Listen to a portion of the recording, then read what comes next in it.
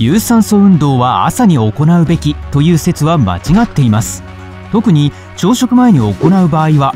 有酸素運動の前に食事を抜くと体は炭水化物と脂肪をエネルギーとして使います。しかし最後に食べた食事が夕食で朝有酸素運動を行うと体は代わりにタンパク質を使う可能性があり筋肉に必要なタンパク質が少なくなるんです。十分な水分補給は確かに重要ですがトレーニング前や最中は飲みすぎないようにしましょう。水を飲めば飲むほど体は塩分濃度のバランスをコントロールします。トレーニング中にそれが起こるとめまいを感じることがあります。トレーニングを開始する12時間前にできれば 600ml を超えないように水分補給してください。さらにトレーニングを始める15分前に240から 300ml の水を飲みましょう。トレーニング前の短い仮眠は活力を増進しエクササイズの効果を高めることができますが30分を超えないようにしてください。仮眠が30分以上続くと仮眠前よりもさらに眠く感じる可能性があります。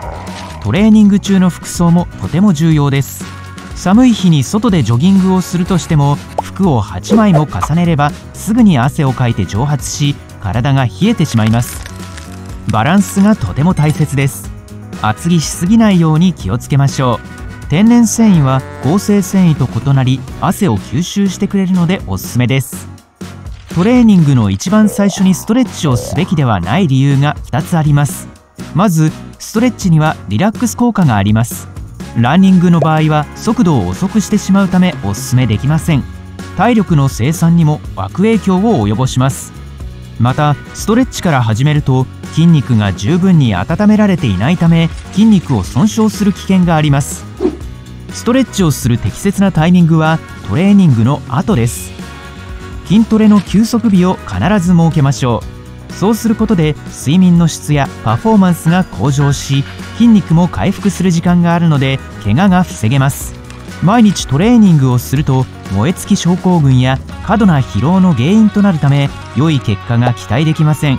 運動し始めたばかりの人は週に23回で十分ですがプロアスリートは週に5日トレーニングをしても問題ありません。トレーニングの前はカフェインを控えトレーニングが終わってから入れたてのコーヒーを飲みましょう。コーヒーは新陳代謝に良いので運動中にトイレが近くなってしまいます。また心拍数や血圧が上昇する可能性があるためこれから運動という時にはあまり向いていません。体重計ばかり見ているとイライラは避けられないでしょう。トレーニングをし始めると体重が減るどころか増えていることに気づくかもしれません。しかしそれは筋肉が増えているということなので大丈夫です。また1日に何度も体重計に乗る人は1日の中で数字が変わることに気づくでしょう。脂肪の重さと筋肉量が測定できるスマートな体重計を持っていない限りトレーニングの成果を確認するのに最も便利なのは鏡です。翌日の筋肉痛でトレーニングの効果を判断する人もいますが実際のところ筋肉痛は筋繊維に小さな損傷があったことを示しているだけです。2年ぶりのトレーニングだった場合筋肉痛は避けられません。日頃から運動している人がトレーニングの翌日に筋肉の張りを感じた場合は注意が必要です。筋肉痛を感じなくても大丈夫。むしろそれは体が強くなってきていることを意味する良いサインです。熱意がなければ良い結果は得られません。トレーニングが退屈だと感じる人はなかなか変化が見られないでしょう。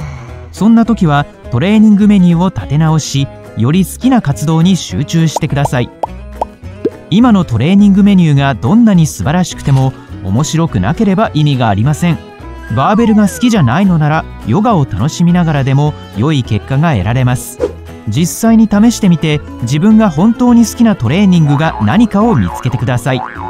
スポーツは多くやればやるほど良いというわけではないです。トレーニングは1時間以上続けるべきではありません。逆に30分間きついトレーニングを試してみましょう。長くて疲れるトレーニングでは短くて頻繁なトレーニングと同じような結果は得られません。セットとレップに集中して早く筋肉をつけましょう。というのもトレーニング時間が短いほどその後の回復に必要な時間が短くなるのでより頻繁にトレーニングができ求める結果を得られるんです。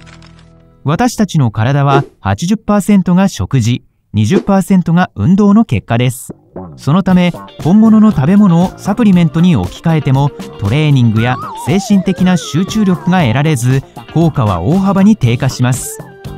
サプリメントはあくまでも足りていない栄養素を補うものであり完全に代替するものではありません。多くの人はサプリメントを売って大金を稼いでいることを覚えておきましょう。どんなトレーニングを行う時でも最も重要な筋肉は脳の肺白質であることを忘れないでください。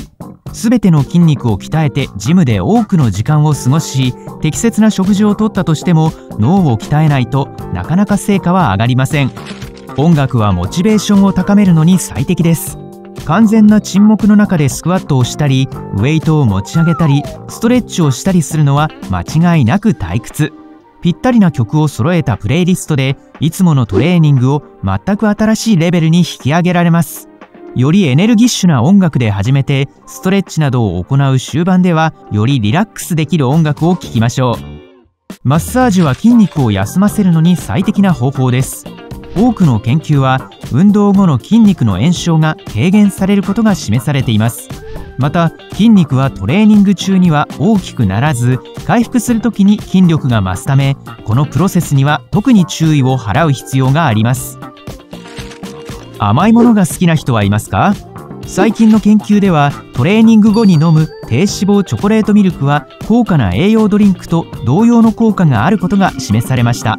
炭水化物とタンパク質のバランスがとても良いためとても効果があるんです。有酸素運動の生産性を高めるには友達と一緒に運動してみてください。2人乗りの自転車に乗ればいつものバイサイクリングを楽しめることでしょう。もちろん2人でジムに行くのも一つの手です。タンパク質はトレーニング後に筋肉を作る手助けをしてくれます。就寝前にご飯を食べる場合カゼインが豊富なものを食べましょう。カゼインは消化に時間がかかるタンパク質の一種でタンパク質合成率を一晩中高めに保ってくれます。必要なカゼインを摂取するにはギリシャヨーグルトやカッテージチーズを選んでみると良いかもしれません。朝食っぽいこの夕食はブリナーと呼ばれていて寝つきが良くなります。1日5回食べましょう。でも1回あたりの食事量はいつもよりも軽くしてください。また123という素晴らしいルールがあります。脂肪を1タンパク質を2炭水化物3という比率で食事を用意しましょう。新しい食事に切り替える前に脂肪を減らすのか筋肉を増やすのかを決めることが重要です。両方を同時に実行することは不可能です。ウォーミングアップに可動性トレーニングを組み込みましょう。多くの人は柔軟性を高めるエクササイズを取り入れていますが可動性トレーニングはストレッチよりもはるかに重要です。スクワットとリーチ系のエクササイズをウォームアップメニューに加えてください。できるだけ足を広げてスクワットし片腕を上げたらもう一つの手で床をしっかり押します。腕をまっすぐにすることが大切。バランスを取りながら上げている腕の方に顔を上げます。膝が曲がり始めたら肘でブロックしましょう。可動性を高めるためにおすすめなもう一つのエクササイズは横になったツイストです。体の声をよく聞いてトレーニングをしてくださいね。